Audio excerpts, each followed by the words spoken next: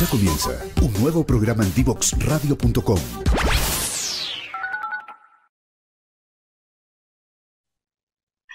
Y ya estamos de vuelta aquí de esta segunda pausa comercial en Equilibradamente con don Patricio Kreisel y don eh, Manuel Montés, hablando sobre diversidad sexual y salud mental.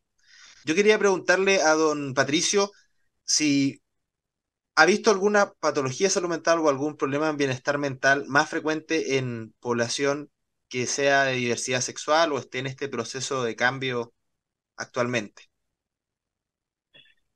Sí, mira, la verdad es que lo que se puede, lo que se ha, lo que se ha podido ver en, la práctica clínica eh, son los trastornos del ánimo, la verdad. Creo que eso es lo más frecuente. Eh, la- las consultas, ¿cierto? Van, van más que nada por el cambio de comportamiento. Eh, padres, ¿cierto? Que, que traen a, que llevan a la, consulta, ¿cierto? Preguntan por el cambio, por, por esta inhibición, ¿cierto? O agresividad en el niño. Estamos hablando de niños más pequeños, ¿eh? Eh, y en adolescentes también la- es, la, es el aislamiento social, algo que tiene que ver como con el trastorno adaptativo. ¿Te fijas? Eh, ahora, episodios más depresivos, la verdad que no, no, no, no, no se ha, no se ha podido como detectar. Eh, pero sin duda, cuando no es trabajado a tiempo, podría con- converger, ¿cierto?, en, en, en un episodio depresivo. ¿Se podría considerar entonces que el no abordaje de manera correcta es como un factor de riesgo? Sí, de todas maneras que sí. Sí, sí, lo importante, es cierto, son los espacios de, de conversación, de, de, de consulta, eh, donde, cierto, se, se pueda dialogar sobre, sobre esto. Perfecto. Don Manuel, yo quería preguntarle también, eh, ahora que esto, usted también está trabajando en el CEFAM con don Patricio, ¿qué es lo que puede hacer un CEFAM en una comunidad en donde eh, los estigmas son bastante fuertes respecto a lo que es la, diversidad sexual? ¿Qué han podido hacer ustedes como CEFAM o qué podrían hacer directamente con la comunidad en general?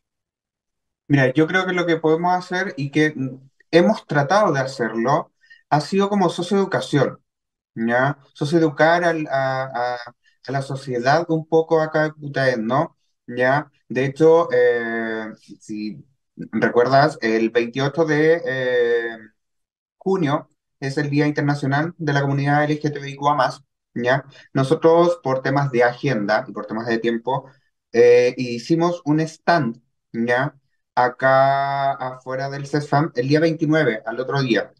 Y sabes qué, increíblemente tuvimos una muy buena recepción de gente mayor, de gente mayor, gente también que viene con, con estigma, ¿ya? Que fueron las preguntas, eh, pucha, una, un- una de las usuarias eh, consultó que si eh, una persona de la comunidad se hace o nace que esas son como la- las preguntas que siempre tienen, ¿ya?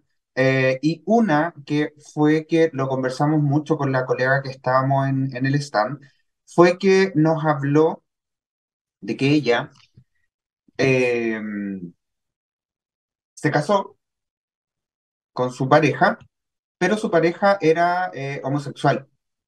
El tema es que con el tiempo ellos lograron separarse en buenos términos. Él eh, hizo su vida con eh, su pareja del mismo sexo, ¿cierto? Pero después eso no funcionó y volvió con su esposa, eh, llegaron a mutuo acuerdo, viven aún como dos personas, no viven como un matrimonio porque ellos se lograron separar, y los hijos siempre dijeron que ellos querían a su padre independiente de cómo fuera, porque el padre nunca los dejó solos.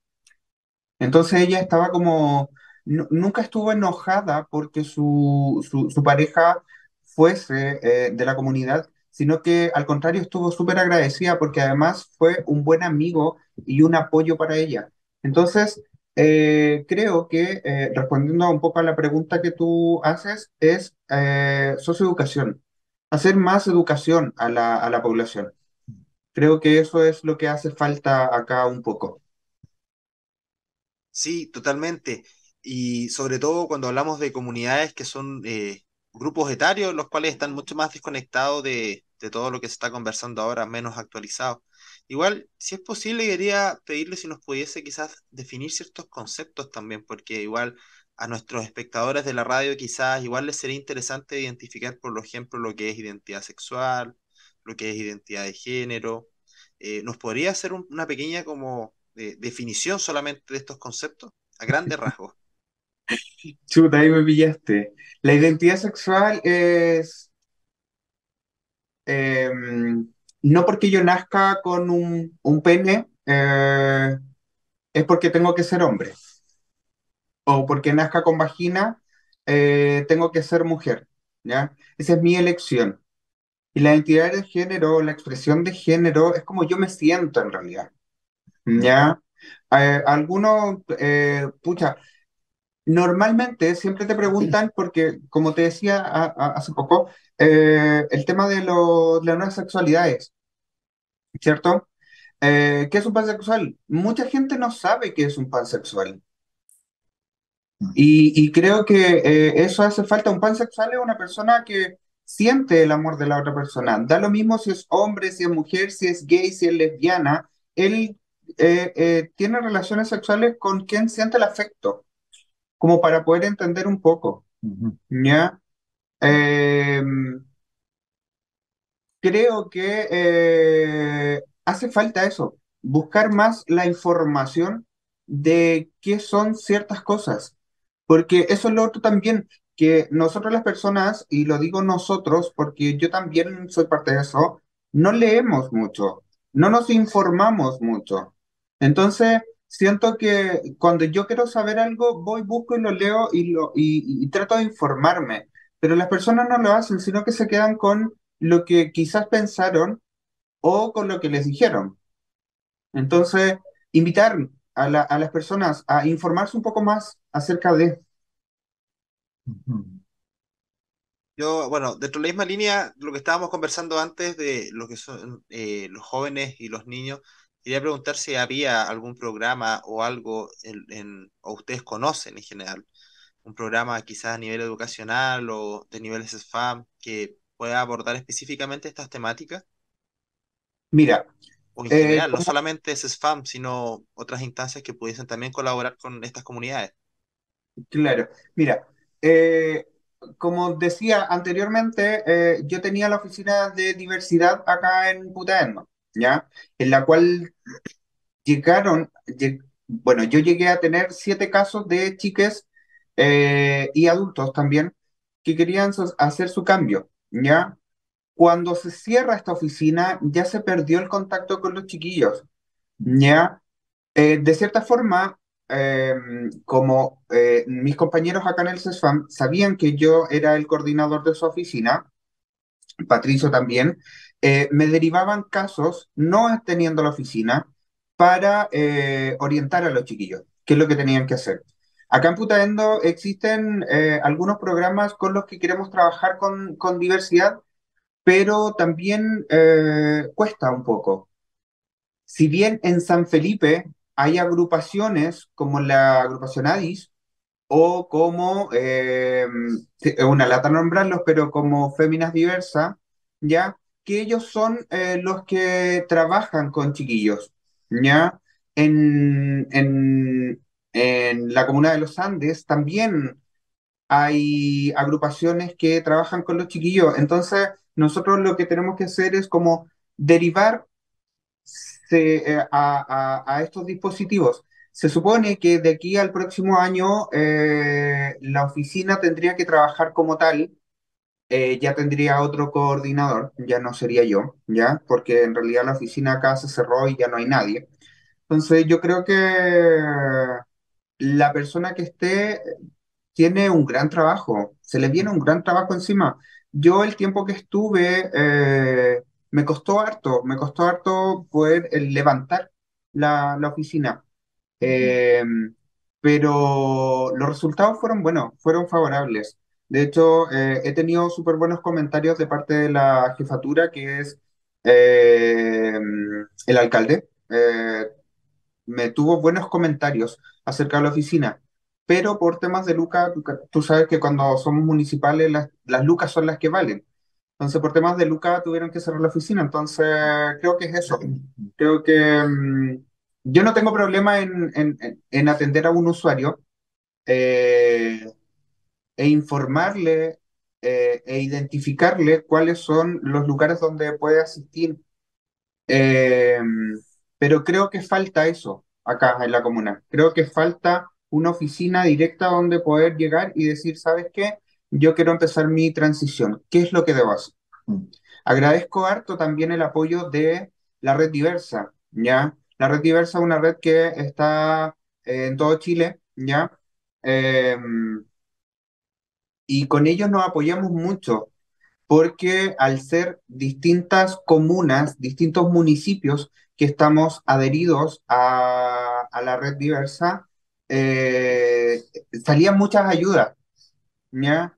Cuando no sé, pues llegaba un chiquillo y decía, ¿sabéis que quiero empezar con mi transición? Ya sabéis que por, por, por regla, por así decirlo, yo tenía que enviarlo a Viña Valparaíso. Pero eh, pucha, ¿sabéis que me voy a contactar con la oficina de diversidad de, no sé, Santiago Centro, o de, de, La Cisterna, o de San Bernardo, ¿cachai? Como para ver si en los hospitales cercanos tenían politrans y cuánto era el tiempo de demora. Porque también tenemos que ver eso, que muchas veces la información que le llega a los chiquillos es, em, no, que tú vas a empezar eh, tu, tu, etapa de transición, eh, esto tiene un, periodo, pero no les dicen que en los hospitales que hay politrans hay listas de esperas, listas de esperas que son de hace dos años atrás. Por lo menos Viña y Valparaíso tiene una lista de espera, hasta la última vez que yo consulté, tenía una espera de hasta un año atrás. O sea, según entiendo, disculpe, son politrans que están en algunos hospitales de Chile parece que en la zona de Aconcagua no hay, entonces evidentemente hay un abandono institucional muy grande de parte del Estado en ciertos sectores que no tienen esta, esta, eh, estos especialistas y para poder desarrollar el proceso. Se supone que a largo plazo eh, eh, se iba a instalar el Politrans en la comuna de los Andes, ¿ya? Pero estamos hablando de que, porque habían especulaciones de que, de personas mal informadas, ¿ya? Y estas personas mal informadas le, le entregaban información errónea a los chiquillos, que el politrans estaba en, los Andes, cuando nunca fue así.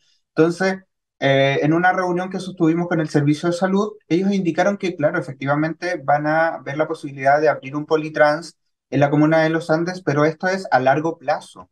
No es una cosa que va a ser en un año, dos años. No sabemos en realidad, se puede demorar, como se puede demorar un año, puede demorarse cinco. Entonces, por eso te digo, acá igual existe baja información y, y como te señalaba, eh, información errónea de muchas personas. Entiendo. en, realidad, en realidad, ¿cierto? Eh, eh, sumando a lo que nos cuenta Manuel, ¿cierto? En realidad, me gustó lo que dijiste, hay, tú, Andrés, hay un abandono del Estado. La verdad que no hay ninguna estructura formal. Em, eh, hay una resistencia importante eh, que, se nota. Eh, los consultantes, ¿cierto?, que, que, han llegado, ¿cierto?, a, la atención primaria de salud, ¿cierto?, terminan en los, dispositivos de salud mental, básicamente porque si algún profesional de la salud, cualquiera que sea, le, llega una motivación, una consulta, sí, es derivado de salud mental inmediatamente, pero no hay ninguna flujograma formal, una estructura donde se, se trabaje esto abiertamente. ¿Te fijas? O sea, no hay ninguna instancia, ni siquiera los programas de salud que existen a nivel ministerial donde se hable de esto. Solamente más bien orientaciones personales, em, qué sé yo, em, muchos, muchos vistos como desde la disidencia. Y muchas agrupaciones de derecho privado, o sea, vale decir que no son estatales. Exacto. Eh, eso, eso quiero decir, y, y dentro de la misma línea, em, es grave que en un CESFAM o en la atención primaria, hablando en general, escaseen programas de este tipo porque supone que es la primera red que aborda a todas las personas. Ese es uno, uno, de los desafíos, entonces, para responder una pregunta que hiciste en un principio y, y que ahora estamos un poco más distendidos, ¿cierto? Uh -huh. eh, sí, ese es un desafío importante, el construir una instancia, ¿cierto?, de la atención primaria, como tú bien dices, para empezar a construir y trabajar esto. Ya para cerrar con la última pregunta, eh, ¿ustedes consideran que nuestro sistema actual en general tiene ciertas barreras que impiden que puedan desarrollarse este tipo de programas? A nivel ministerial, municipal, etcétera, a nivel nacional. Sí, yo creo que sí. Sí. Cultural, porque culturalmente está instalado, ¿cierto?, lo binario. Mm, Hombre, mujer. Derecha, izquierda. ¿Fija? mm, Polo, la chica. Ya pues, estimado, muchísimas gracias. Eh, estábamos con don Patricio Kreisel, eh, psicólogo clínico de Valle- Cefam Valle de los Libertadores, magíster en salud familiar, y don Manuel Montés, técnico en trabajo social y ex coordinador de la Oficina de Diversidad de Putaendo. Muchísimas gracias por estar el día de hoy. Muchas gracias, a Oye, Andrés. Muchas gracias, Andrés, por invitarnos. Y si hay una alguna otra instancia en la que podamos estar, agradecidísimos de invitarnos, Participar. eso, de participar con, con ustedes. Muchísimas gracias. Lo vamos a estar eh, en contacto. Que estén muy Ya bien. pues. Conéctate con personas que saben. En divoxradio.com.